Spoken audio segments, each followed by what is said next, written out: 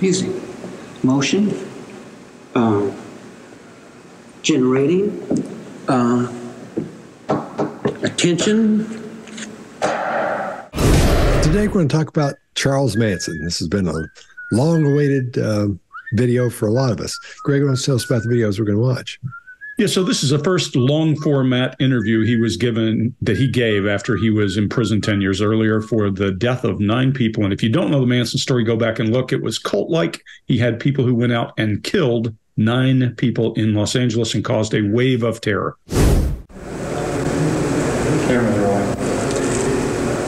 When you and Mel write a book, what are you going to talk about? What are you going to try to bring out in your book?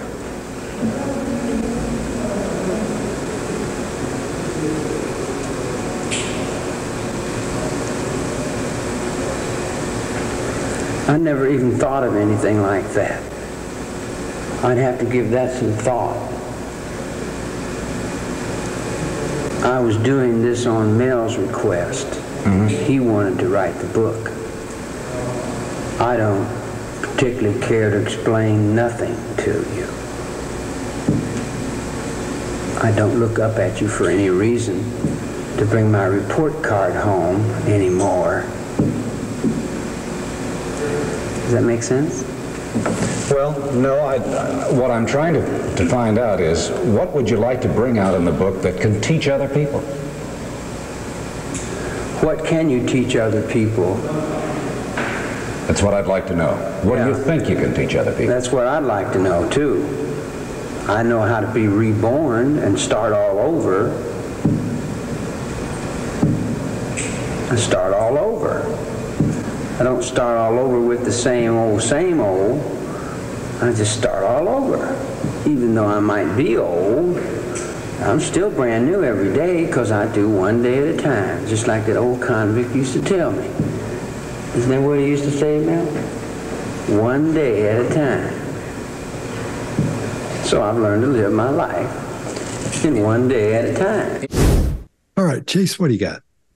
What you just saw right here is a super common behavior in cult leaders all around the world. They repeat questions back to their followers, then use this weird silence and repetition to pretend that there's some actual wisdom in the remarks there. It's kind of like a shell game where they're playing hide the intellect, except there is not much. And this question really got him. We've already established uh, he's going to he's going to emotional accessing this downright for a baseline, which is pretty unusual uh, for his baseline. And you can see him dive back down to that downright eye position several times, which is emotional. And he's repeating phrases and just par- uh, kind of parroting this fabricated wisdom that he used to build his following. And he's saying, We're reborn and then we start all over. He's uncomfortable with the silence here. His blink rate, which is how often we blink, it's a signal of stress, goes way up right there. And he is, I think, lost.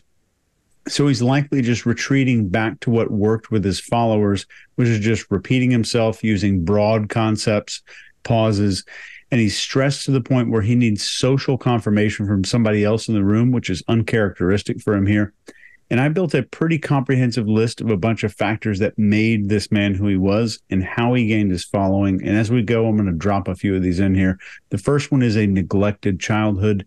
It was uh, very unstable and uh, very neglectful. Greg, what do you got? Yeah, this is one of the best examples of the organism doing what made it successful. This guy is two layers. One layer is the crazy little nut job in prison because he's a small man and he's been in the system his entire life.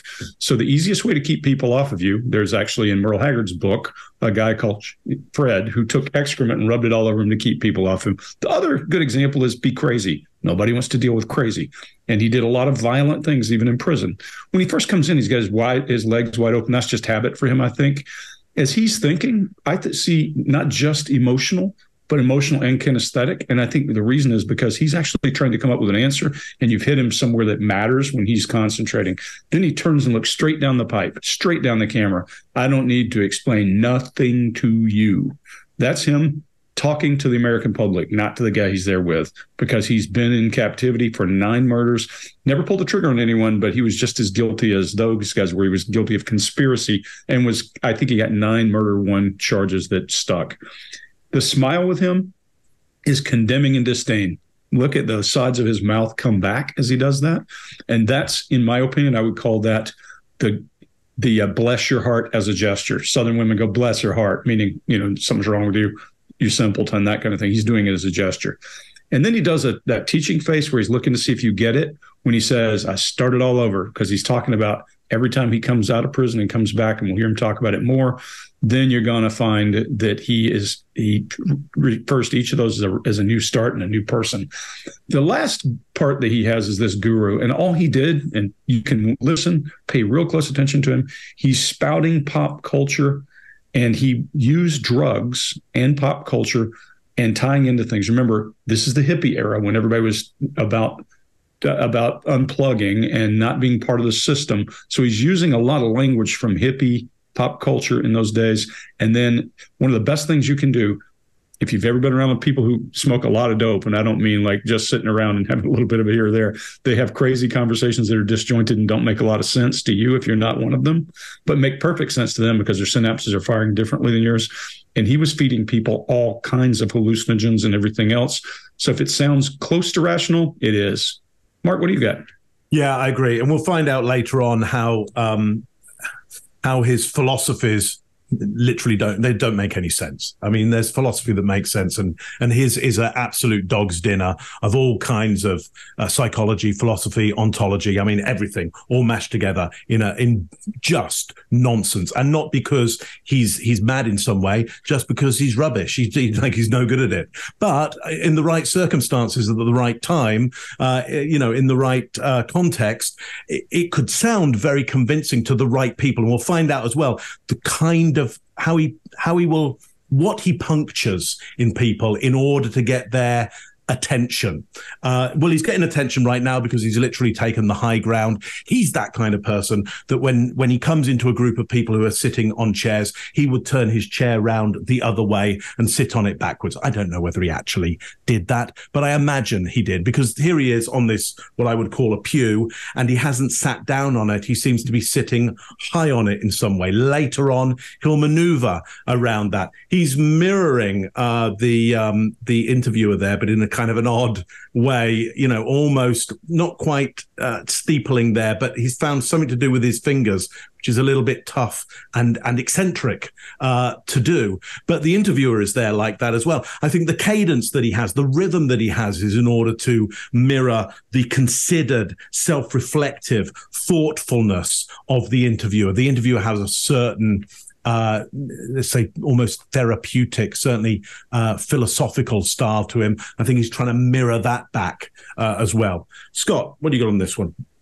All right, I, I was opening up with that clasped hands thing, Mark, because it looks so odd. It's so mm-hmm. it's so out of place, and I agree. He's, he's mirroring it somewhat in that with that guy.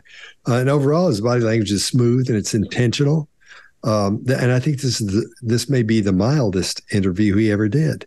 And I think the reason being is he hasn't quite figured out how to use TV or interviews to uh, his advantage yet. He's just now putting all that together, and, and and I think this is the most real him that we see throughout his uh, career in prison when he does interviews and things. I think this is the real guy. Pretty much, we're seeing. Looks like he might be on some kind of uh, something to help keep him calm because the the looks he has looks like he's on a depressant.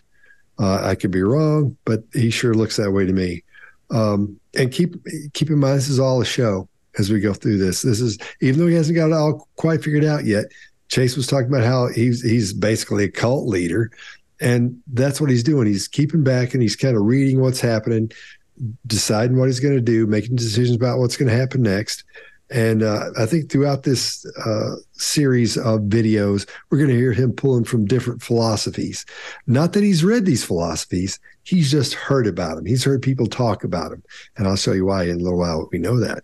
He's heard parts of them. And he's just, he says one line from one part of philosophy and one thing from Buddhism. He'll say one thing from Christianity, one thing from something else.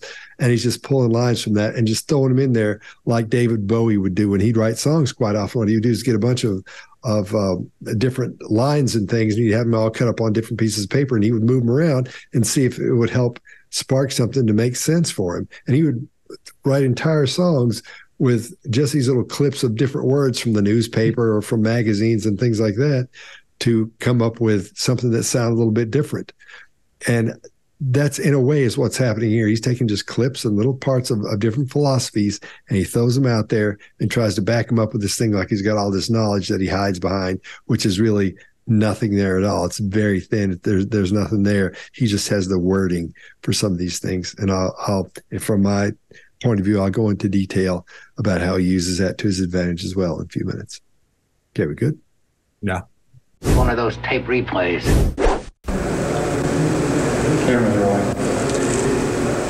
When you and Mel write a book, what are you going to talk about? What are you going to try to bring out in your book?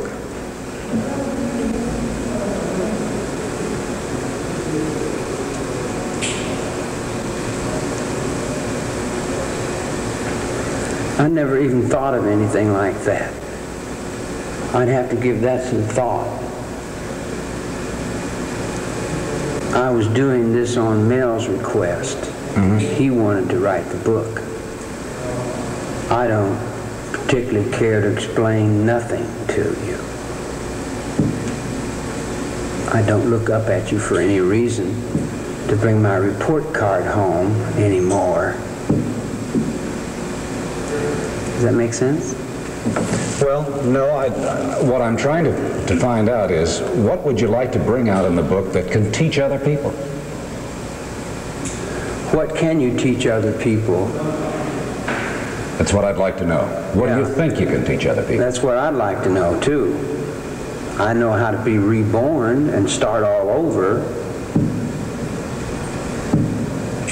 I start all over.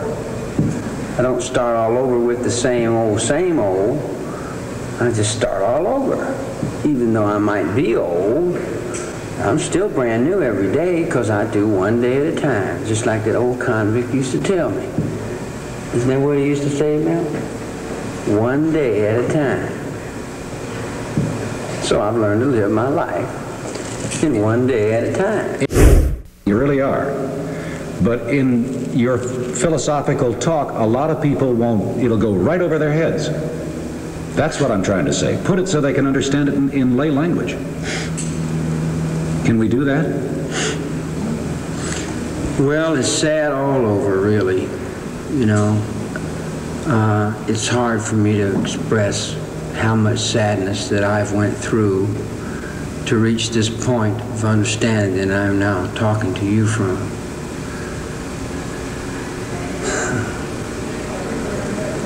Um, how are you going to help somebody that don't want help? Will Hit them in the head and make them do it? Will your book do that? Will you try Will I try? to explain that? Will I try to help you people destroy me some more? Is that what you're saying? No. That's what I'm doing here. Will your book help children? Um, Help parents? I don't know whether it would help anyone. I've never thought about that. You guys would have to show me what help is so I'd know what it is. You teach me, I'll learn. I'm just a little kid in mine. See, I've been in jail 30 some years. I never lived in your world outside. I'm like a little kid out there. All right, Mark, what do you got? Yeah, I think the interviewer is trying to bait him in here, hook him in here. Uh, your philosophy will go over their heads. uh, put it in lay language. So he's he's trying to raise up. I'll say it status. Trying to raise up the subject status here in order to get him to talk. Uh, what we will find out is just utter nonsense, as, as Scott was rightly saying there.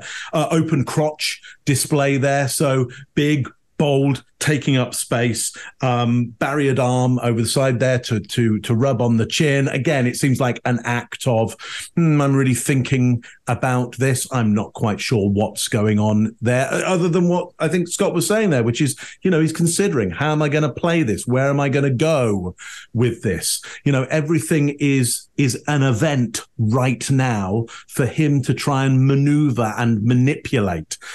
I'm not sure there's many ideas of the past and the future here. He's very much somebody in the manipulation of of now.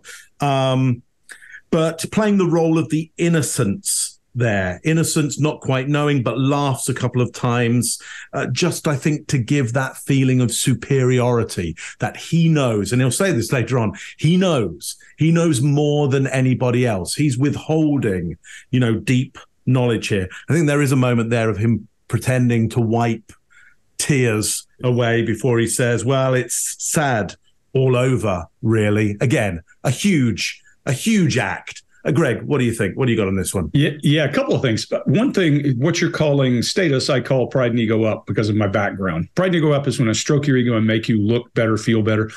But but but Manson's not buying it at all. Manson's that amusement in his face is like, oh, that was a wooden attempt. Oh yeah, I got you. Because he's trying to stroke his ego and make him come out and say stuff. But this guy's street smart. If Manson's smart about anything, it's about how to manipulate and get his way around people. People would say he's charismatic because he plied them with drugs and did whatever it took.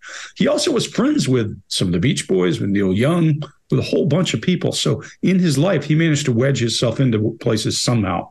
This but we're all we're all going to be products of our environment. And this interviewer is old guard kind of guy. He's been around a long time, and he's trying what worked with other people, not with a criminal who also has hippie kind of mindset. So he's kind of an outsider to it. I think the beard grooming is likely his baseline because things that we do all the time just become part of who we are.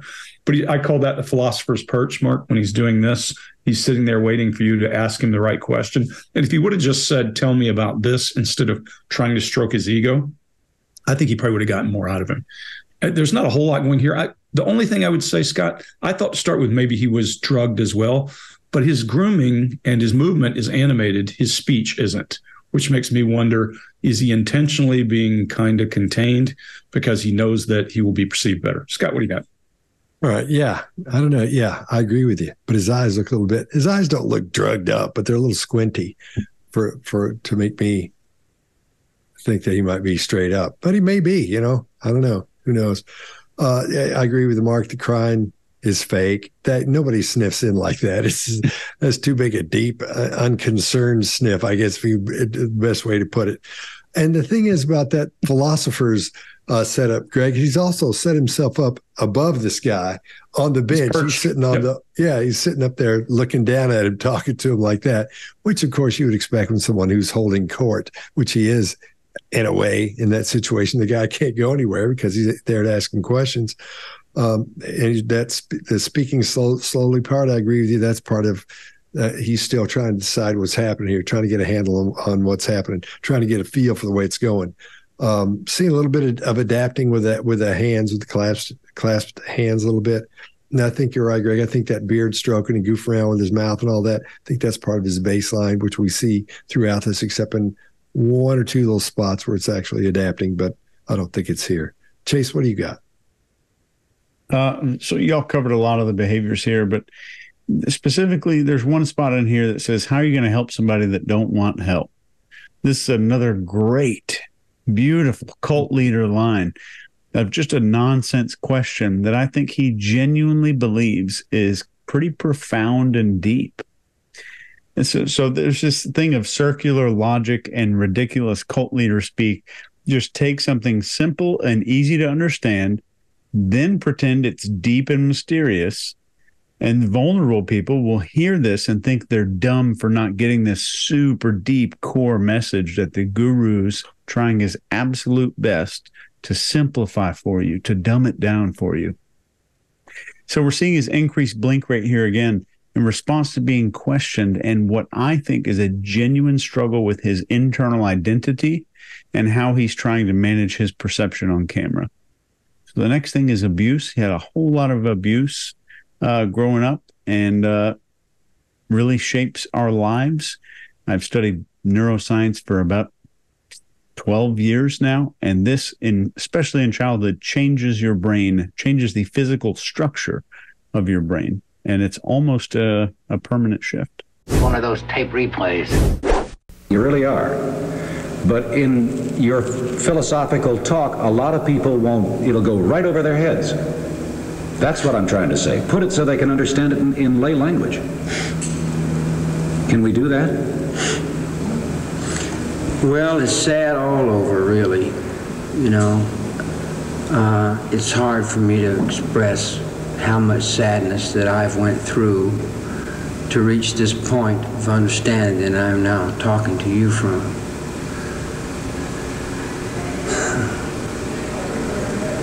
Um, how are you going to help somebody that don't want help?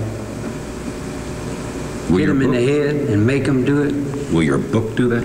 Will you try Will I try?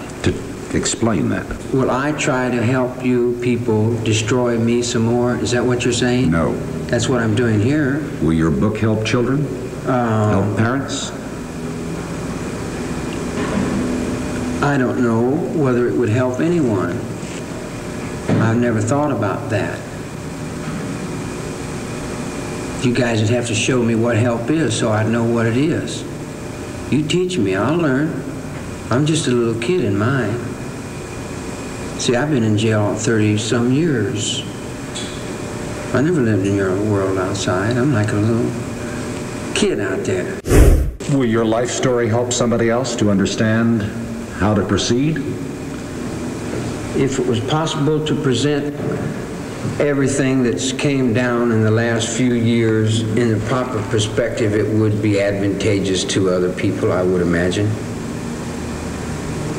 But if they had eyes in their head and they could see under the bed, they'd see that heads of lead and eyes of wood. It doesn't really matter because rubber fingers is taking the hand off into the universe anyway. The level of comprehension that you hold in your mind is only taught you by a school book that's in a sorority house. My father jumps off the Second World War in the ruptured ducks that were in the little pins and the buttons. In Section 8 in the nut wards, and all the people that have gone crazy. Your father was crazy? My father was all men that I've ever met in prison. Mel's one of my fathers. Creepy Karpis is another. I learned something from everyone. The captains, the wardens, I never missed anybody. I learned as much as I could from everybody I could get a hold of. And I've never met anybody that I couldn't learn something from. But now that I have learned what I've learned, I don't think you people want to know what I know. You wouldn't like it. Why? Well, because it's not very nice. Well, why? Because the people that you let run your lives aren't very nice. The people that govern you, the people that tell you people what to do, they're not good people. All right, Greg, what do you got? Yeah, so I'm gonna you're gonna have to bleep this because this is a house philosopher all day, every day. This guy has no clue what he's talking about. But if he makes his language dense enough, if he makes his language dense enough, then other people can't understand it. So he tries to complex complexify his language so it's harder to understand. And that's what cult leaders do best. Chase and I both were part of cults when we were very young, meaning we went through basic training or boot camp. And there was a cult leader in there who made a very complex thing for you to understand. And the only way you're allowed to get food and sleep and all those things is when that cult leader saw that you were starting to buy into the game. So we were indoctrinated by instructors, drill instructors, and we turned into little military folks. We came in off the street looking like Charles Manson, maybe, but came out of there looking like we do now. So what happens is they're putting pressure on you to conform. That pressure is not by them, it's usually by somebody else and all that Maslow to get to the top. So the more complex they make this language, the harder it is for you to get to. Think about, I'll just give you one example of how hard that can be. Imagine being a medieval person walking into a place where people spoke Latin and they owned this magic building Imagine how powerful that was to change the way you behaved. So now this is what these guys are doing on a smaller scale. He's got a whole bunch of BS language in there around heads of lead. And then I love seeing him stumble when he gets to eyes of wood and that one single shoulder shrug, like I have no clue what I'm saying, is just beautiful. And then he raises that hand to testify. And I got in my notes, preach it, brother, because he starts to shift like some kind of a Southern Baptist cadence to his speech. It's beautiful. And he rolls off all this chaff and redirect. His father's in the 101st Airborne. When he talks about ruptured ducks, that's the emblem for the 101st Airborne is a screaming eagle. And in popular culture, it was called ruptured ducks. Uh, look, and when he's even doing that, I love that he reaches up and touches his collar because he's talking about something tangible, but he's just dragging in anything he can, anything he can. I, look, at the end of that, he does that other, that bless your heart and a smile again, and then his eyelids flutter for punctuation. This is in a big pile. Uh, Chase, what do you got? So let me just teach you how to be a cult leader really quick. Uh, you heard him make these little rhyming words using vague language and then almost make no sense at all with this comment about this rubber fingers. And uh, I think uh, so. Cult leaders often use this rhyming, ambiguous language as a tool to exert control over followers. And this can be explained by a few key principles here. First, there's something in psychology called the rhyme as reason effect. And this uh, mental error that we make as humans uh, we tend to make this error because it suggests that statements that rhyme are perceived as more truthful. So rhyming makes a statement easier to remember and process, which tells our brain, oh, that must be some good data there. If you need an example of this, if the glove don't fit, you must acquit. Second, ambiguous or nonsensical language can create mental confusion or cognitive dissonance. And this increases the cognitive load on the listener, like how much we're thinking about trying to make sense of it. And this creates a little opening for the leader to insert ideas and thoughts without a lot of scrutiny. So it's a form of a, maybe a confusion technique where the leader obliterates the familiar, replaces it with weird, and makes uh, makes you more susceptible. Finally, unusual language can uh, serve to separate the cult from the outside world and kind of creates a unique little vocabulary that only members think that they understand. Like, uh, Greg, I think you mentioned it, just L- all the LSD and crazy stuff. Uh, and they want now the people in the group want to avoid breaking the norms. Uh, the next factor in creating Manson is juvenile delinquency. I won't explain that. I'll just leave it on the table there. Scott, what do you got? All right. Um, I think this non this is just rambling, but I think it's worked for him before, obviously, because he's got some people that were believing it with him. And uh, he's trying to sound like he's an intellectual. Like that first opening sentence, sentence talking about things being advantageous. I bet he doesn't even know what that means. I really don't think so. I really don't think so because his use of the word came, you know, instead of saying, uh, everything's out of whack in his in his vernacular. His his grammar's just horrific. And, then, and like Chase was saying, he separates himself from everybody else by talking about all this uh, out there, these little parts of philosophies that he's talking about and pulls from. And then you get your own wording for those things, and it becomes common in that group. And that and and it's just like a huge clique when you get a big when you get a cult going. Uh, and I and I I'll tell you, I think this guy's an idiot. I think he's an idiot. I don't think there's any no two ways about it. And I don't think, and he's not like the Dostoevsky idiot. You know, there's a book he wrote, a novel he wrote called The Idiot, and it's about this fellow named Myshkin. He was a prince, right? And he was really nice and he was really good to everybody. And everybody thought he was an idiot. They didn't think he was very smart because he was so nice. And all these intellectuals thought they were above him, but they come to find out that's not true. So I don't think he's that style idiot. I think he's a full blown idiot. Mark, what do you got? Classic, full blown idiot. So, uh, Chase, to your point, first lesson, first rule of great political speech writing uh, is end your line with a rhyme, and it just has that that nature to it. If you, if, if at least you could end on a rhyme, you know the audience know when to to applaud or stand up and it's a great signal that something significant has happened and i think you're right he's playing into that so um there's uh, Greg, you're absolutely right. I, I, was thinking, why am I? Why does he sound like a Southern preacher? In my mind, I don't know enough about Southern preachers. He does, but I know enough to go. I think he's doing a Southern preaching act. I think we'll find out maybe in the next video where that Southern preacher may well have come from, because this may be something of a new act for him or a nuance, a new nuance to his his act. Uh, but but on the whole, uh, you know, he's he's classically kind of charismatic. But I think what's happening here, and he does it here, is is he turns around the inquisition that's going on around him into an inquisition into government systems and their effect on people. Now, the reason he does that, I think, is because he is truly paranoid. I think he does have actual paranoia. But the benefit of that paranoia is that if he can move his paranoia adjacent to people's insecurities. So if he's truly paranoid about government systems, which I think he he, he is, if he can go, well, you know, they're they're they're hiding stuff from us, aren't they?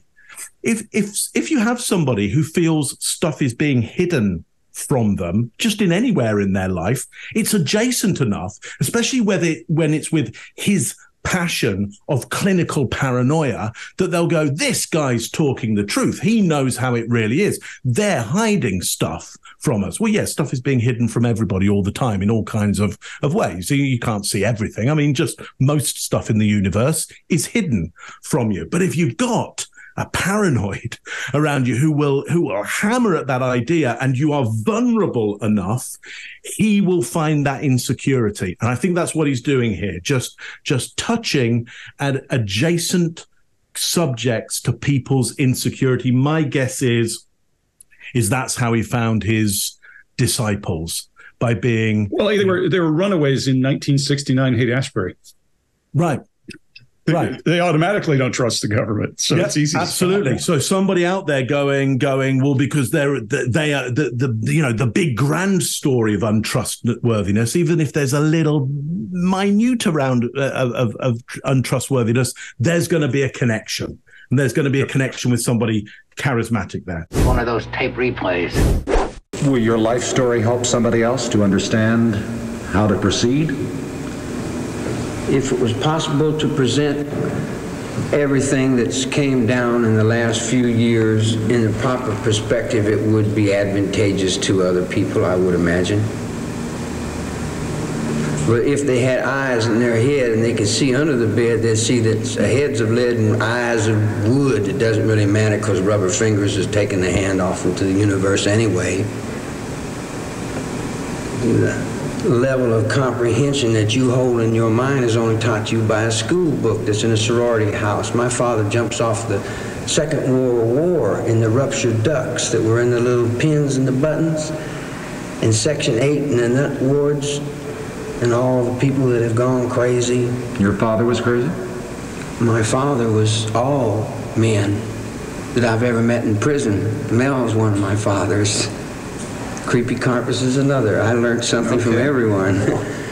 the captains, the wardens. I never missed anybody. I learned as much as I could from everybody I could get a hold of. And I've never met anybody that I couldn't learn something from. But now that I have learned what I've learned, I don't think you people want to know what I know. You wouldn't like it. Why? Well, because it's not very nice. Well, why? Because the people that you let run your lives aren't very nice. The people that govern you, the people that tell you people what to do, they're not good people. You've been back on a job out of segregation for how long now? I don't know. I got up and came out here today. How long have you been working in the chapel? I explained to you. I live one day at a time. Right. I don't have any other life outside one day at a time. What brought you back into the mainline population? What brought me back into the mainline? The preacher, hmm? with his love and respect and help, got me back on the mainline. Hmm? After all that years of solitary, all those years of solitary and segregation, how is it? Still, right now, I'm doing the same day I've always done. I've just had to bring it a long ways. But it's still today, and it's still a good day. And every day gets a little better. No matter what you do to me. Are you at peace with yourself? Whatever that means, I never even thought about to ask myself if I was. I don't generally talk to myself. but I guess talking to yourself would be all right. All right, Chase, what do you got? This is great because it helps you to see the cracks in false confidence, fake confidence. There's nodding during the silence after he speaks. The blink rate increases, which is a stress response when he's asked about anything vulnerable. There's smiling when he's nervous. There's an increase in facial touching during these precise moments when he's asked to internally reflect on anything. And this interviewer did a hell of a job. Whoever this guy is, uh, get an A from me. Final thing is uh, incarceration, or the next thing here, and a lack of positive role models in his life. This is a huge contributor to later in life criminal behavior and activity. Greg, what do you got? Yeah, he had lots of fathers. We'll find out later. Lots of good influence on him. So yeah, he's been in prison since he was in the system since he was ten. So that's a bad thing. More importantly to me is Chase something you just hit on. We see emotional eye accessing, and when he's asked about solitary and segregation, that fraction point, all this crazy he's going to show you. There's anger in his face as he said, "No matter what you do to me." And if you want to know, it's awful hard under all that facial hair to see the anger. But if you see the um, if you see his blink rate increase and then tightening around the muscles in his mouth, pulls his nose down, so you can see he's angry, and then he's got that weird little laugh. This is the organism doing what made the organism successful, and he's this is his Fred um, his Fred act to hide something. Uh, Mark, what do you got? Yeah. Uh, so there's the the preacher there. He talks about that he's been working with with a preacher. My guess is he's picked up some of that preacherness from that. Uh, charismatic laughter at the absurdity of the situation. I would say these behaviors where you get him being serious and then laughing, that the laughter feels odd to us. We know we're in this in the presence of something that is odd and doesn't quite work. That is behavior that we would call allotropic, which means it pulls you in both directions. It's like a car accident. You can't you know you shouldn't watch, but you're drawn towards it. And so everybody slows down on the highway. They know they shouldn't look at it, but at the same time, they're drawn towards it. That's his char- charismatic nature. He puts in these little bits of behavior that are out of context, that are super weird. You know, you shouldn't join in, but you're kind of drawn towards him. Scott, what do you got on this one? Right, I think that mouth fidgeting again. That's sort of his baseline. You guys covered everything on this. That there's there's not tons of things to go over. So that's all I, I got on that one. One of those tape replays. You've been back on a job out of segregation for how long now? I don't know. I got up and came out here today. I How long told you been working in the chapel? I explained to you, I live one day at a time. Right. I don't have any other life outside one day at a time. What brought you back into the mainline population? What brought me back into the mainland? The preacher, with his love and respect and help, got me back on the main line. After all that years of solitary, all those years of solitary and segregation, how is it? Still, right now, I'm doing the same day I've always done. I've just had to bring it a long ways. But it's still today, and it's still a good day. And every day gets a little better. No matter what you do to me. Are you at peace with yourself? Whatever that means, I never even thought about to ask myself if I was. I don't generally talk to myself. but I guess talking to yourself would be all right. Let's talk about Helter Skelter. Mm-hmm. Bugliosi paints you as a small would-be pop singer, as he describes it, of little talent. How do you react to that? Bugliosi looks in the mirror every morning when he shaves. And that's the only person in Bugliosi's world. Just him. Ask his wife. She knows it. What about the accuracy of the book, though, Charlie? He had the dates right and the names right, but he had a million illusions that had nothing to do with my reality. He was only trying and convicting his own reality. didn't have anything to do with me. I've already been through all these prisons. But he did paint you as probably one of the most universally known persons To who? around to readers, people who read it. And they believed it? I don't know. What do you think? Then they're not as good as what they read, are they? But the book, how, how accurate or inaccurate is it? I never read it. Didn't you brief it one time? I read parts of it. Yeah. How did you find it? Like I say, it was reflections of what he was thinking. It had nothing to do with me. Seriously, the Charlie Manson that you created, that's not me.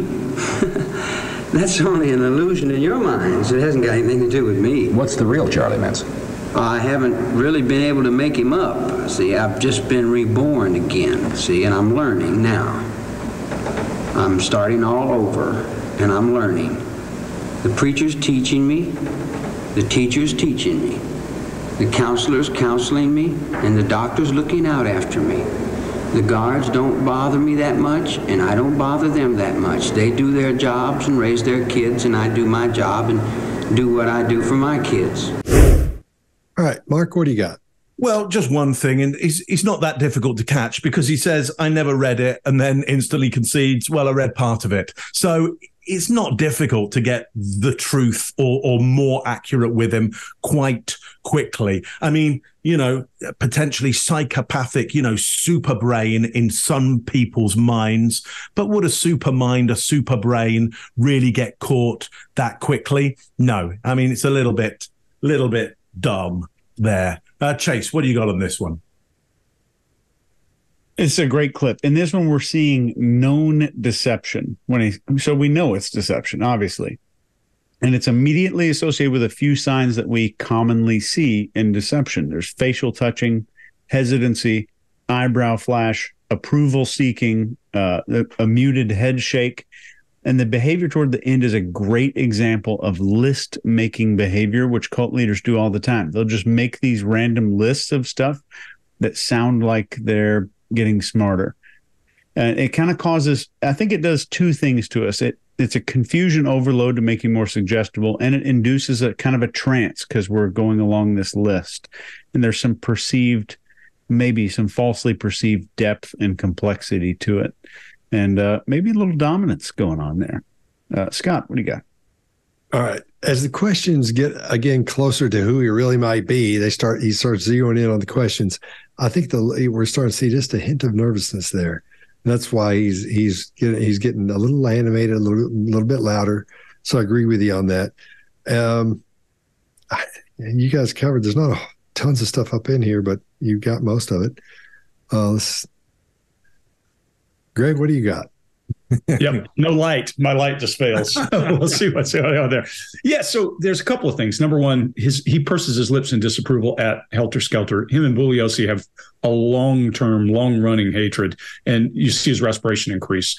Then he goes into the best Southern Baptist thing I've heard. There's a mantra there where he says he's, he's going in this whole thing about you know, him being the only person in his world, and then he pauses after he does that little you can hear its cadence is practiced and rehearsed. Ask his wife.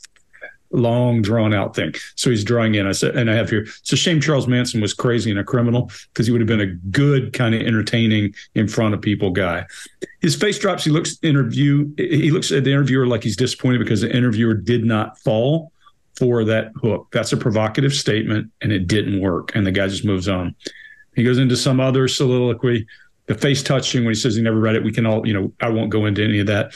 The best follow up question ever is what's the real Charles Manson?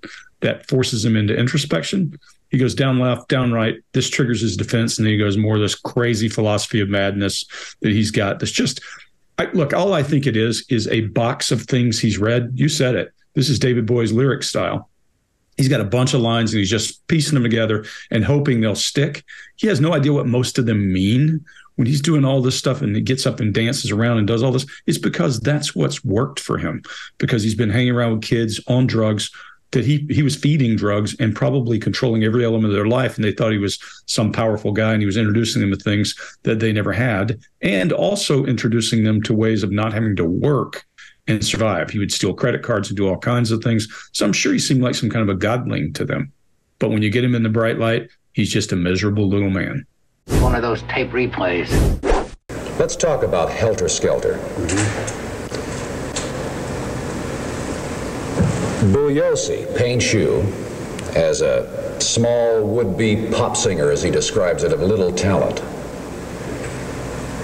How do you react to that? Bugliosi looks in the mirror every morning when he shaves.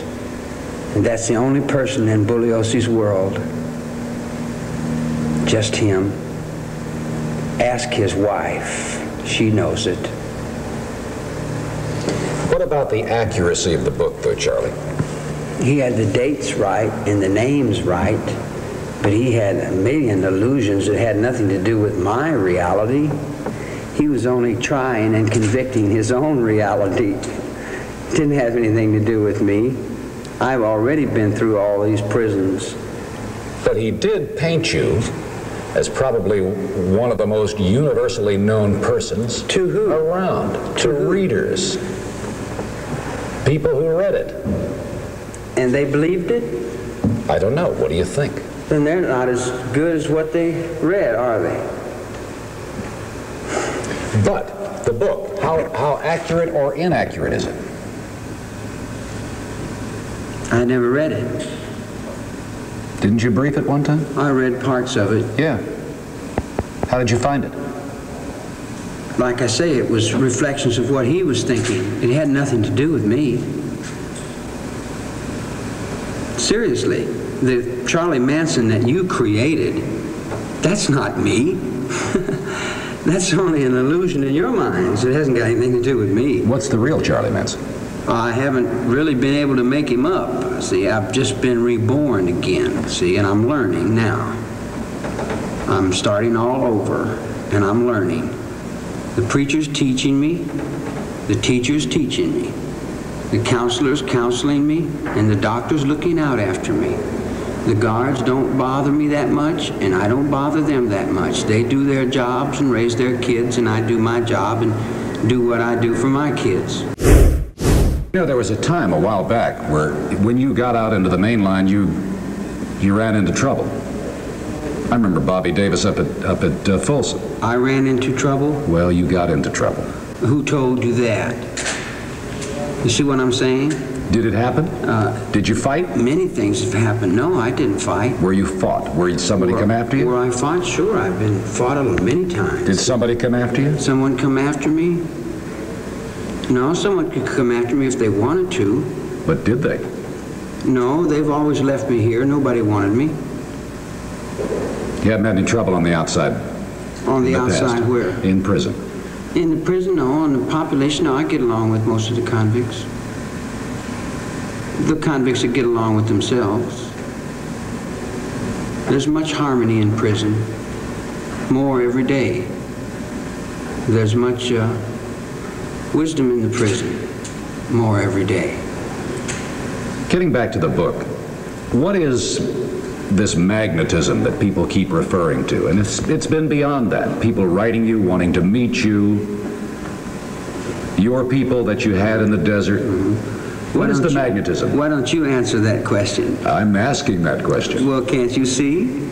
Well, tell me, what is it? Well, what do you think it is? Do you know? Do you know? Don't play games with me. It's no Seriously. game. I know. That's why. That's why you're asking me questions, and I'm not asking you questions. Okay. You see, I don't need to ask you questions. I already know. Could you tell me? Sure, I can tell you. Do you have the time? I'm here. Who would you like to start? Well, what is it? Go ahead and tell me. What is what? Are you secure? Charlie, The government is the United States. The government has never been more secure. Never been more secure than it is right now. hold it, bud. Seriously, I, I want to know. All right, Chase, what do you got? I missed the uh, contributing factor in the last video. He was exposed to and explored a lot of the ideas of Scientology earlier on. Hmm. And to Scott and Greg, both of y'all, I, this is the first video I've ever seen in my life where a person goes from, and I may be wrong, a romancer, then to trancer, then to stancer, and then to prancer. Maybe y'all can talk about this. This conversation features several hallmarks of Manson's uh, speech patterns, which were convoluted, circular, nonlinear. And here's uh, maybe what you saw right here there's repetition and reversal, which is who told you that? Did it happen? Those kinds of questions. There's ambiguity and evasiveness, and it makes stuff difficult to follow. There's an assertion of dominance here. There's uh, hypnotic repetition, is what this is called. In preacher speak, this would be called a voice roll. An indirect confirmation here. There's non sequiturs present here. And in general, his this communication style was a crucial part of why he was able to develop followers so quickly inside of this community of wounded, confused people who were going through a, a very difficult time. Greg, what do you got? Yeah, this is a really interesting one for me because if you pay attention, his entire everything he does is to try to get this guy to admit that he came here to find out something that Charles Manson knows that he doesn't. And it doesn't work. And he gets angry. You can see it. He says, I know, and that's why you're asking me. And you can see all that anger in his face, the stuff we always associate, the narrowing of the eyes. And if you don't think that he was trying to work him into that, that's what he's working him to. But go back and listen to him, see his teaching face as he's watching him he almost cracks a smile when he talks about wis- wisdom in prison. You can't miss it. He's got when he says the word you, when that guy says the word you, all that superficial charm and all that stuff that comes up is there. That's Charlie. That's probably where all of all these kids saw in him. But the minute that he stops admiring him, and th- then you see that superficial charm just disappear and drop off. I won't go into all the steps, but he forces a guy to change language so he can pretend not to understand twice that's powerful when you're trying to negotiate your way through things. But watch him get angry. Watch him have that superficial charm when he says you to Charlie, and then watch him lose that superficial charm, fade, and get angry. It's really powerful. Scott, what do you got? All right. I think we're starting to see the heat being turned up a little bit by the uh, interviewer. This guy's he, he's coming on a little bit aggressive, and it's it's showing up on uh, Charles. Uh, and now I think the goofing around with his beard, I think that's actually become an adapter now. It was part of his baseline earlier, but now I think he's doing it because he's getting a little, he's feeling a little bit of the tension from that. Um, and I think this is the worst case, worst case we've ever seen of chaff and redirect, or an attempt to. In other words, it it's the worst. It's it's almost hilarious. That's how bad it is. Um, and so far, it's the most movement we've seen on him and uh, the interviewer is, is, is coming in swinging on this one. And Charles is kind of, I think he's in a slap fight. Um, is under the impression he's in a slap fight, where the interviewer is under the impression he's boxing. I think it's the differences we're seeing there. Mark, what do you got? Uh, yeah, so I think he reveals his his modus operandi here for picking up disciples. Uh, are you secure? He asks. Are you secure? And it's interesting, Chase. I've written underneath there Scientology and then L. Rod, L. Ron and Miscavige there. Uh, because listen, uh, for those of you who know London, you'll know that Scientologists were on um, on Tottenham Court Road, uh, just near Gower Street, and and all the actors would come out of of of, of RADA, student actors, and they were easy pickings, easy pickings for the psych uh, the the Scientologists, um, and and anybody going up Tottenham Court Road because you can hit an actor with a bread roll at a at a at, you know 10 paces all the time. And there's there's there's no group that is often least uh, insecure as actors after an audition which is you're in the heart of the west end. You're just in the heart of the west end. And in the heart of the west end you've got actors auditioning all the time and they're coming out of theaters utterly insecure with themselves. Good pickings good pickings for any cult. I'm not saying scientology is a cult. I'm not saying that L. Ron started a cult and Miscavige uh, runs one right now. I wouldn't say that kind of thing on YouTube uh, that would get me into all kinds of problems, wouldn't it? So I'm not saying that. Uh, but this is the fulcrum of his head game, essentially. You have questions, I have answers. You're insecure, I'm secure. Uh, what a brilliant, what a brilliant, brilliant grift. One of those tape replays. You know, there was a time a while back where when you got out into the main line, you you ran into trouble. I remember Bobby Davis up at up at uh, Folsom. I ran into trouble. Well, you got into trouble. Who told you that? You see what I'm saying? Did it happen? Uh, Did you fight? Many things have happened. No, I didn't fight. Where you fought? Where somebody Where- come after you? Where I fought? Sure, I've been fought a many times. Did somebody come after you? Someone come after me?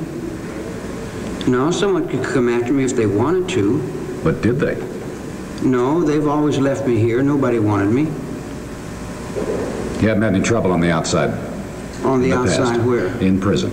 In the prison, no. In the population, no. I get along with most of the convicts. The convicts that get along with themselves. There's much harmony in prison. More every day. There's much uh, wisdom in the prison.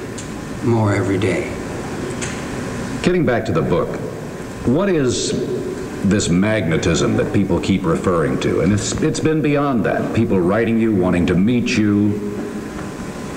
Your people that you had in the desert. Mm-hmm. What Why is the you- magnetism? Why don't you answer that question? I'm asking that question. Well, can't you see? Well, tell me, what is it? Well, what do you think it is? Do you know? Do you know? Don't play games with me. It's no Seriously. game. I know. That's why. That's why you're asking me questions, and I'm not asking you questions. Okay. You see, I don't need to ask you questions. I already know. Could you tell me? Sure, I can tell you. Do you have the time? I'm here. Where would you like to start? Well, what is it? Go ahead and tell me. What is what? Are you secure? Charlie. The government is the United States. The government has never been more secure. Never been more secure than it is right now. Hold it, bud. Seriously, I, I want to know. What is it that draws people to you?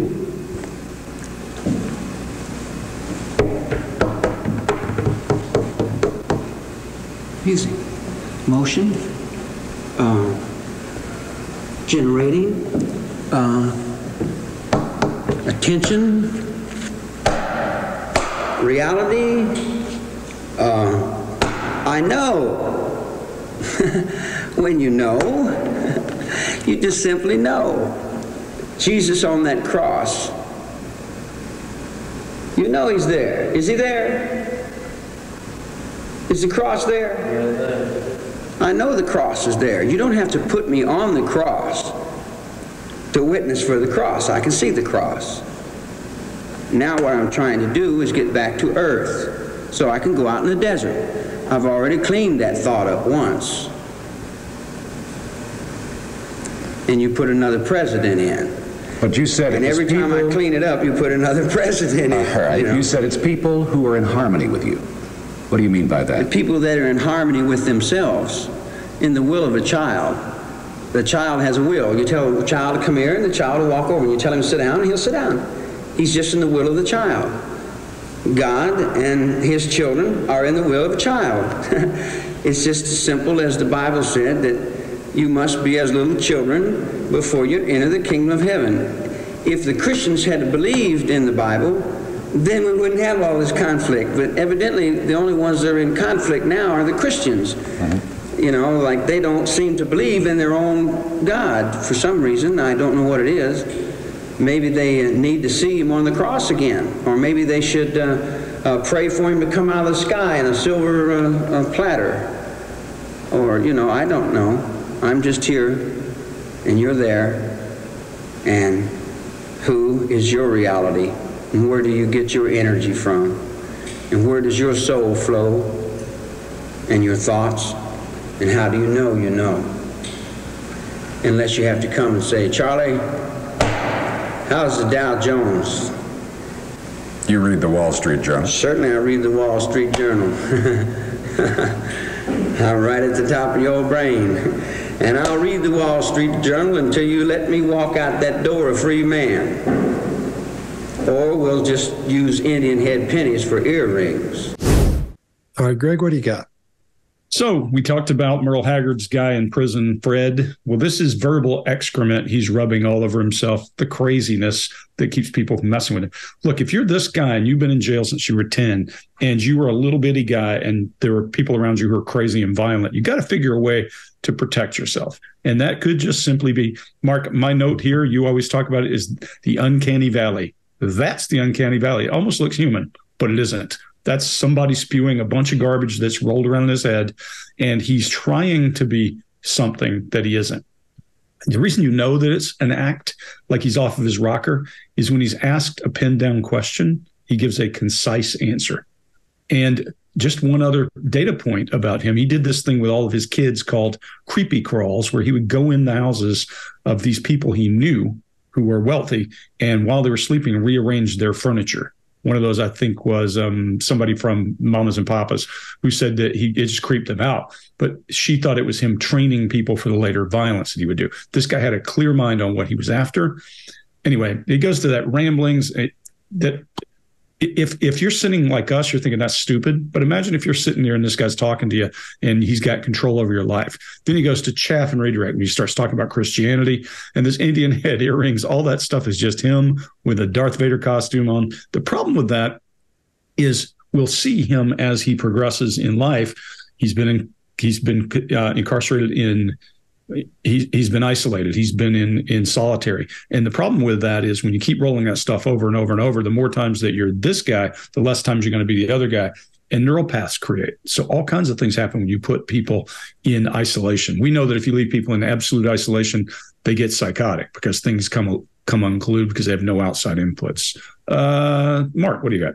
Yeah, look, in the right context, that enigmatic one man band that he was doing there would be would be incredible. But in the context here, it just looks like a bit of a nutter, you know. And that's the problem is is that you know he's doing what made him great in one context, and in this context, it's just not working for him. What a mashup! Ontology, epistemology, there, psychology, philosophy, theology. You've got you know the the the study of of of of why we're here, the study of of how we know what we know, but it's all mashed together together in such a way that it absolutely makes no sense whatsoever. He's co opted the icons of lots and lots of stuff and then just mashed it all together. It's kind of Brad Pitt in 12 Monkeys, kind of barnstorming performance going on here, but in utterly the wrong uh, context. Uh, but what we do see there, I think, which is really accurate, is the Messiah complex the idea that he is here to save everybody my I would imagine he truly believes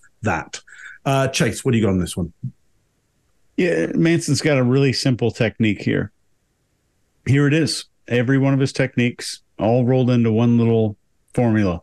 Create doubt, insert confusion, amplify confusion, borrow from authority, and use uh, tactical wisdom or artificial wisdom, is what I would say and, which is almost what I would call the Manson formula for how he got to the point of fame that he actually did. And the Manson formula would just be create mystique, offer individualized attention, display uh, assertive confidence, distort reality, promote the us versus them mentality, align with spiritual or ideological concepts. And there you go. You're done. That's all I got. Scott, all right. what do you got? I'll go next. Yeah, I don't think he thought of it that way. I think he did all ran up on those things by accident. I don't think, oh yeah, you know, to be in many books like that. But I, yeah, I, I think you're right. I think he ran up on this by accident because watching this video, that's how you do it right there. This is how it's done. Check this out. You go in when you're dealing with someone who's either they're on drugs or they're really insecure. You catch them at a, at a, at, a, spot where they're really vulnerable. And the people that he's dealing with obviously are fairly vulnerable because of where he's finding them, and how he's running into them, runaways, things like that.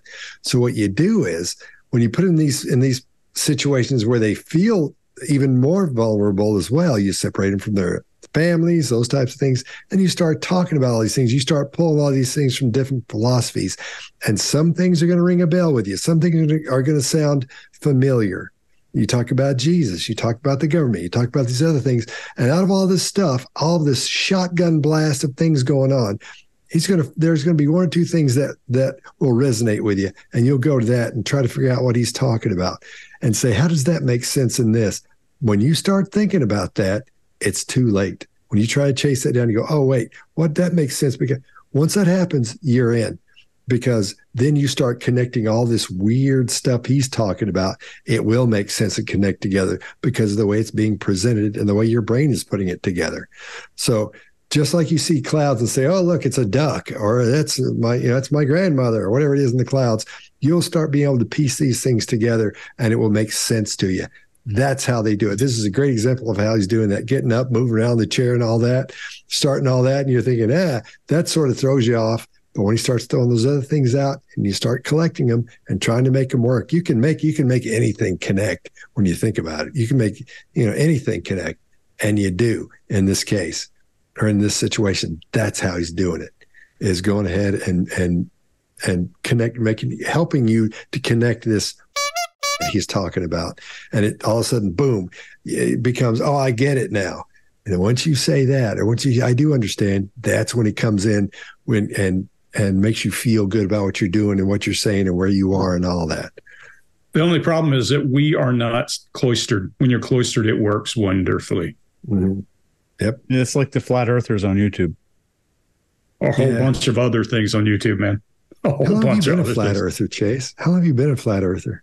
18 months, but uh, we haven't had a meeting yet. Or they, well, I didn't, that's the thing. You won't find it. You'll get the email soon because it's a 24 months where you we indoctrinate you and you become, you know, can't talk anymore about it here, obviously, but uh, yeah, I, I can't get the T-shirt. People go, people go think we're flat earthers. Well, I think Greg is, not us. One of those tape replays. What is it that draws people to you?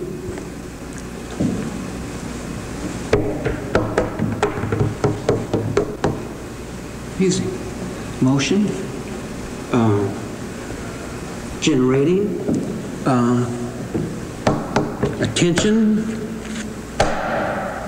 reality. Uh, I know. when you know, you just simply know. Jesus on that cross. You know he's there. Is he there? Is the cross there? I know the cross is there. You don't have to put me on the cross to witness for the cross. I can see the cross. Now what I'm trying to do is get back to earth so I can go out in the desert. I've already cleaned that thought up once. And you put another president in. But you said it's and every time people, I clean it up, you put another president in. Right. You, know? you said it's people who are in harmony with you. What do you mean by that? The people that are in harmony with themselves, in the will of a child. The child has a will. You tell the child to come here, and the child will walk over. You tell him to sit down, and he'll sit down. He's just in the will of the child. God and his children are in the will of a child. it's just as simple as the Bible said that you must be as little children before you enter the kingdom of heaven. If the Christians had believed in the Bible, then we wouldn't have all this conflict. But evidently, the only ones that are in conflict now are the Christians. Mm-hmm. You know, like they don't seem to believe in their own God for some reason. I don't know what it is. Maybe they need to see him on the cross again, or maybe they should uh, uh, pray for him to come out of the sky in a silver uh, platter. Or, you know, I don't know. I'm just here, and you're there, and who is your reality? And where do you get your energy from? And where does your soul flow? And your thoughts? And how do you know you know? Unless you have to come and say, Charlie, how's the Dow Jones? You read the Wall Street Journal? Certainly, I read the Wall Street Journal. I'm right at the top of your brain. And I'll read the Wall Street Journal until you let me walk out that door a free man or we'll just use Indian head pennies for earrings. What if you did get a parole date in November? What would you do? Then I would give it some serious thought. I don't have room in my mind for could be's. I have to deal in what is. I can't think about what I want. I have to deal with what I'm allowed to have. What if you got a date? If I got a date, then I would probably have a date. Do you know what you'd want to do? Uh, yes, I have many plans, a lot of plans. I'd like to clean up the water. I'd like to go up in the mountains and start at the top of the mountains and clean the springs up, take all the pollution out of the water so I could drink it, clean up all the green things and pick up all the old beer cans and clean all the way to the ocean. And then maybe we might be able to save a little air and water for our children. Because I'm living in my child's world now. I'm working on his world. My world already went to the gas chamber. What if you don't get a date? If I don't get a date, then I won't have a date. Have you thought about it then? Uh, I know you want to get a date. I What if you it- don't? I gave it some thought, but not that much. I've gave it thought in relation that it's possible that they'll be pushed to make some sort of move to alleviate the pressure that they've created on themselves. Uh, If there's any way that I could help that, I would, then that way I could achieve what I'm after also. All I want is what the Constitution said I could have. The liberty and the right to look for my freedom the way I want. If you gave the Constitution to me like you said you were supposed to, then I wouldn't be here, and I wouldn't have been here the last 11 years. But if you let your politicians play like they're Christians and use your courtroom to further their own purposes, then all you're doing is big business with your own children's lives. And it really doesn't make sense to me, but I don't have the president's spot to make any change. If I had the control to make the change, I have All right, Mark, what do you got? Yeah, a couple of things here. Uh, clean up the water. He's going to clean up the water. That's a Messiah complex. So I can drink it. That's paranoia. So two things together. Messiah complex and paranoia. That's a that's a lovely cocktail. Um, but he doesn't attach feelings to the events. If I can't get a date, then I won't have a date. Okay, that's just an event with a, a non-event happening. What we want to hear from somebody on the whole is if I can't get a date, you know, I'll be disappointed or I'll be upset. But he doesn't have, it would seem, any of those feelings. Or if he does, he's not going to talk about those. That's not. That's abnormal. That's antisocial. Um, uh, yeah, let's leave it at that. Uh, Greg, what do you got on this one? I, I think it's something else, Mark. I think it's learned behavior. When you've been incarcerated for 37 of your 47 years, you learn not to get excited about things because then they're not touchable. And I think in here, in this case, he is actually giving us some real answers because he's adapting and moving to get comfortable. They're large illustrators, got a lower lip withdrawal at what I'm allowed to have. He doesn't use that weird smile he's always using. He compresses his lips tightly.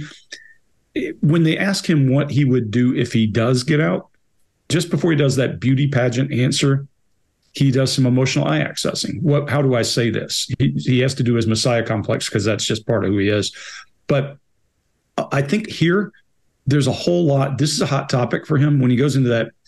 Um, when he's talking about my world died with the gas chamber, this is my child's world.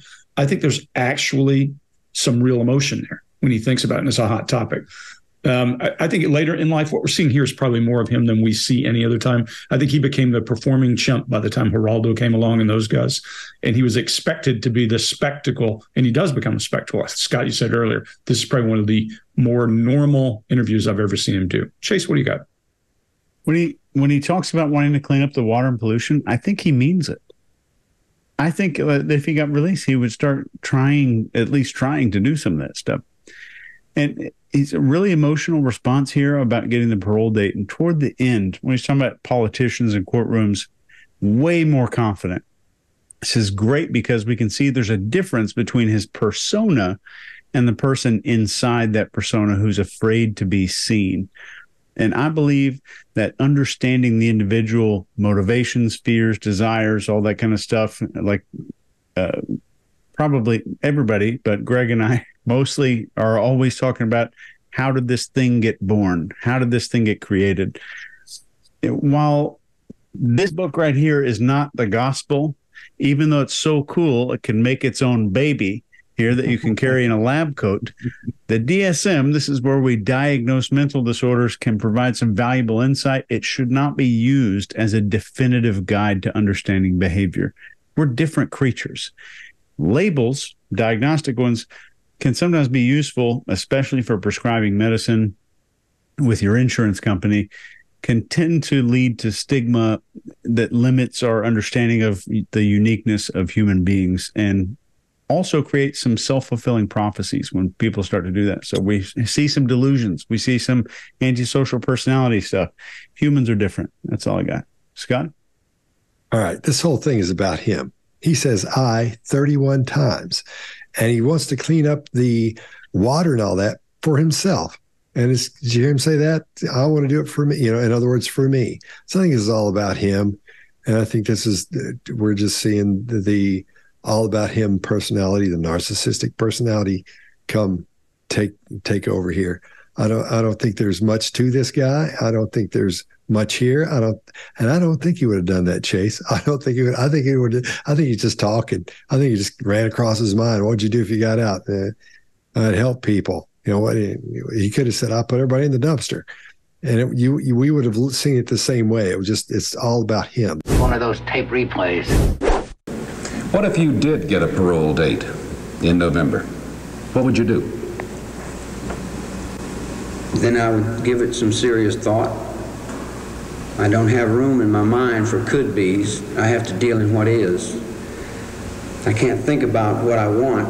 I have to deal with what I'm allowed to have. What if you got a date? If I got a date, then I would probably have a date. Do you know what you'd want to do? Uh, yes, I have many plans. A lot of plans. I'd like to clean up the water. I'd like to go up in the mountains and start at the top of the mountains and clean the springs up. Take all the pollution out of the water so I could drink it clean up all the green things and pick up all the old beer cans and clean all the way to the ocean. And then maybe we might be able to save a little air and water for our children. Because I'm living in my child's world now. I'm working on his world. My world already went to the gas chamber. What if you don't get a date? If I don't get a date, then I won't have a date Have you thought about it then? Uh, I know you want to get a date. What if you it, don't? I gave it some thought, but not that much. I've gave it thought in relation that it's possible that they'll be pushed to make some sort of move to alleviate the pressure that they've created on themselves. Uh, if there's any way that I could help that, I would, then that way I could achieve what I'm after also. All I want is what the Constitution said I could have. The liberty and the right to look for my freedom the way I want. If you gave the Constitution to me like you said you were supposed to, then I wouldn't be here, and I wouldn't have been here the last 11 years. But if you let your politicians play like they're Christians, and use your courtroom to further their own purposes, then all you're doing is big business with your own children's lives. And it really doesn't make sense to me, but I don't have the president's spot to make any change. If I had the control to make the change, I have. So if I can get comfortable here. I might be able to set all the way down. Uh, you know, we were talking about this. The book Helter Skelter. Right. You said that there are a lot of things wrong with it. What's wrong with it? Well, book's all right. Got good paper and all in it. All this paper comes from trees. It's a shame to waste all your trees writing this trash for your children to be raised up in Do you want your children to live according to the gospel of helter skelter? Where are the inaccuracies in it? Well, it would take me as long as it took him to point them out. It took him uh, two years in court to invent them. It would take me two years in court to uninvent them and redo them and show the proper perspective of it. Bugliosi. Yeah. Helter skelter simply means confusion. And if you don't see the confusion in the world, it's always been confusion in the world, uh, then I guess you don't know what confusion means. But like, I get out of jail, and every time I get out of jail, society's moving a little faster, and they're doing crazier things. And uh, I get out, and I can never adjust to it outside because it's uh, it's uh, almost impossible to do anything right everything is wrong to somebody. I mean, you can't, uh, you have to hide, and you know, day people and night people, and everybody all divided up. And All right, Greg, what do you got? Yeah, there's more rational thought, and, and if this guy can be rational at times, it's likely he is clear. And when rational is a relative thing, so let me just say that I don't mean that the way he thinks is the way I think or you think. But look at him lean in and look under his brow at the pronunciation of helter skelter. He's actually mocking there about like, look, I was going to rule the world with this little thing. But then he tells us why he is who he is.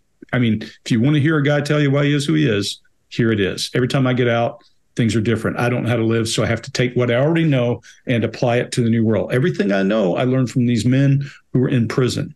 He has to learn a new way to cope on those criminal underpinnings and use his background. And he, there, Chase, you may know this, but there are at least two references to him being involved with an LSD program through Haight Ashbury that was tied back to the CIA and the MK Ultra program. So he has a good reason not to trust the government if that's the case. And there's actually a study, and I have it, I can put it in the link down below, written about him and his communal marriage that was published in lots of papers. So look, the guy was important enough for people to know him. He knew a lot of famous people. Neil Young said he had talent. Other people said he didn't. So if that guy has no way of understanding the world and he gets out and he can do anything that he wants to because nothing he does is right, he just told you why he is who he is. He told us the formula that created him and why he is who he is. Very clear. Mark, what do you got?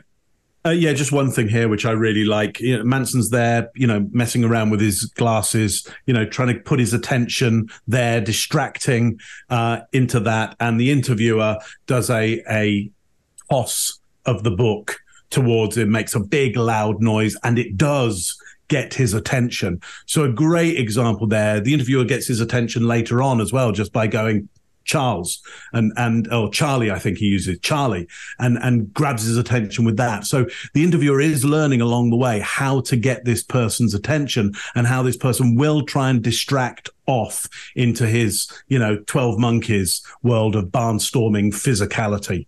Uh, Chase, what do you got on this one?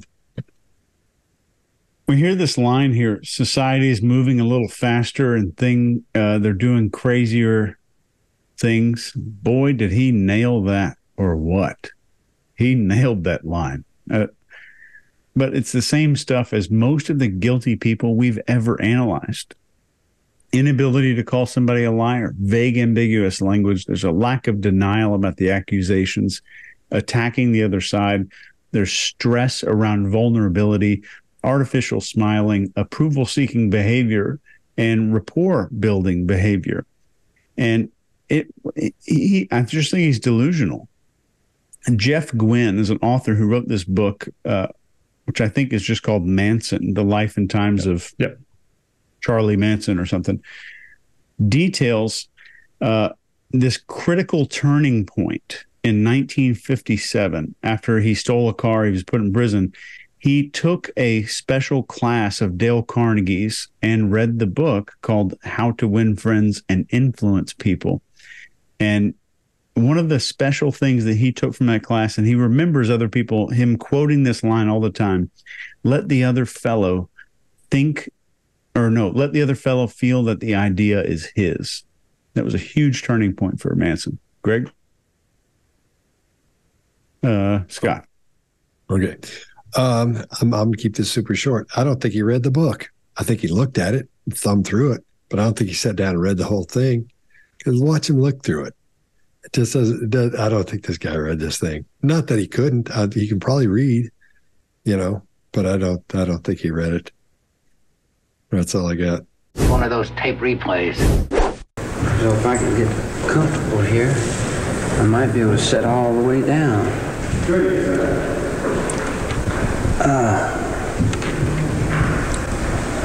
You know, we were talking about this.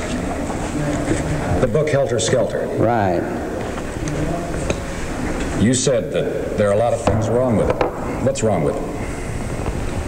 Well, the book's all right. Got good paper and all in it. All this paper comes from trees. It's a shame to waste all your trees writing this trash for your children to be raised up in. Do you want your children to live according to the gospel of helter skelter? Where are the inaccuracies in it? Well, it would take me as long as it took him to point them out. It took him uh, two years in court to invent them. It would take me two years in court to uninvent them and redo them and show the proper perspective of it. Bugliosi. Yeah. Helter skelter simply means confusion. And if you don't see the confusion in the world, it's always been confusion in the world, uh, then I guess you don't know what confusion means. But like, I get out of jail, and every time I get out of jail, society's moving a little faster, and they're doing crazier things. And uh, I get out, and I can never adjust to it outside because it's uh, it's uh, almost impossible to do anything right. Everything is wrong to somebody. I mean, you can't. Uh, you have to hide, and you know, day people and night people, and everybody all divided up. And Just one more thing. All right. What do you think we've seen so far up to this point, Mark? How's it looking to you? Uh, yeah. So uh, Messiah complex, uh, very very clear. I would say from the behaviors that that we're seeing there, um, and um, genu- genuinely paranoid, genuine paranoia as as well. Um, listen, I, I hear there's other interviews out there. Uh, so you know, if you want us to look at some of those other interviews or more of that, then put down below what's your what's your most interesting interview and, and why we should uh, why we should look at that. Chase, what do you got? Or the guy's an idiot. And don't put that down below because we just may not need to do this again. We've kind of got it. maybe, but maybe not. Maybe not. I agree. Maybe maybe we're missing out on some big thing that we haven't seen yet. One thing that's incredible if you're ever talking to a psycho is to ask them to describe the motivations of other people. That is in my opinion one of the most telling and immediately identifiable things because we as humans and even psychos tend to think that all people are essentially like us and that most people process the world like we do. And this is a great window in how he thinks other people operate because it's the way that he operates. And you're going to see this time and time again. You don't even have to ask a psycho. You can ask anybody what they, how they think other people see the world or, or think. Greg?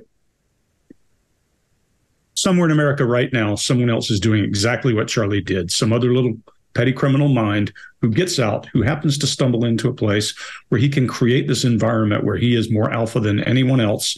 And through Maslow's hierarchy of needs and rewarding and punishing behaviors, he's creating his own little monsters. Now, they may or may not have a reason to do revenge for the little monster, but this little broken toy just pulled a bunch of kids around him who had very little tether to something going on in a time when there's massive social upheaval, much like we're dealing with right now.